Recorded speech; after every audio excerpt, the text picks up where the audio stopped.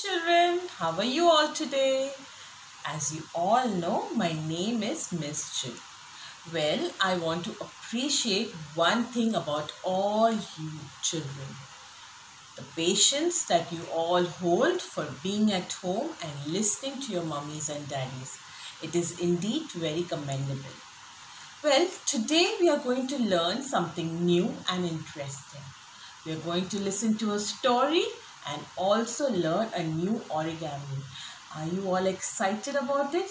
Yes, let's all begin. Sam was a very playful boy. He loved playing outside.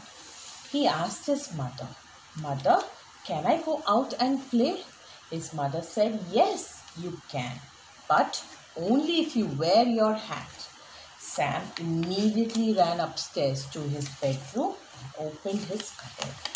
And there he found his hat and he wore it and came down and asked his mother and said, Mother, look, I'm wearing my hat now. Can I go now? His mother said, Yes, you can. But be careful and take care of yourself. Sam came out and Sam went out to play and it began to rain. Since it was raining, Sam started playing in the muddy puddles and splashing water everywhere. He heard a loud siren and he saw a fire truck. He said to himself, I too want to be a fireman, but I cannot because I don't have a fireman's hat. So he made a fireman's hat and pretended as if he was helping the firemen to put off the fire. Suddenly, it started to rain very heavily and almost got flooded everywhere. Sam realized that now he needed a boat, but he couldn't be a captain of his boat because he did not have a hat. So, Sam wore the captain's hat and began to sail. And he sailed and he sailed and he sailed. Suddenly, he rammed into a tree and there was a big hole into the boat.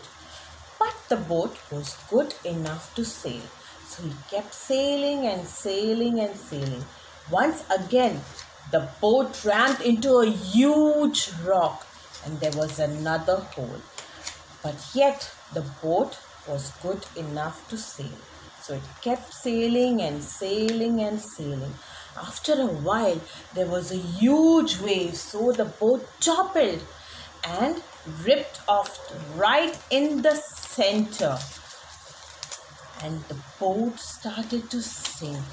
But Sam said, I don't have to worry because I have a life jacket. Children, I hope you like the story and the origami and will surely try this at home along with all the activities that you're doing. Keep yourself safe and busy. Bye.